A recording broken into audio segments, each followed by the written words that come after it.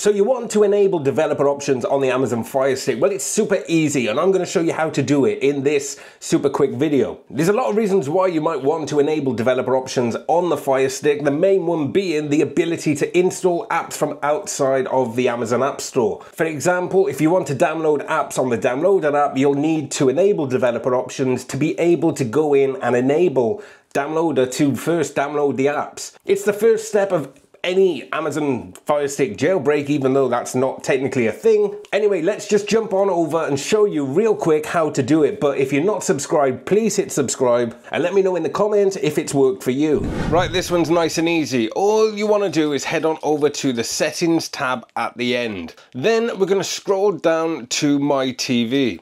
Now we need to enable developer options. As you can see, I've already got it on this Fire Stick, but you might not. First, to get developer options, go to the About screen.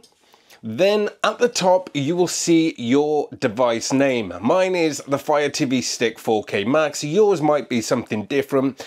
But either way, we're going to hover above this option and then click OK on the remote seven times. And as we click it, you'll get a pop-up on the bottom. One, two, three, four, five, six, seven. Now mine says I'm already a developer, but as you click it, it will count down to enable the options. After you've clicked it seven times, it will say you're now a developer. Then you can click back and on the My TV section of the settings, you will now see developer options. Now inside developer options we've got ADB debugging. This is for advanced debugging and wireless connections to the Fire Stick. Local ADB is disabled so I'd recommend leaving that off unless you know what you're doing. Then to install unknown apps from the likes of Downloader you will get them on here. After downloading the Downloader app you can go to the Downloader section and turn it on and anything here will allow these apps to install apps from third third parties. Useful for downloading things that's not on the Amazon App Store, but that is how you enable developer options on the Fire Stick. Easy.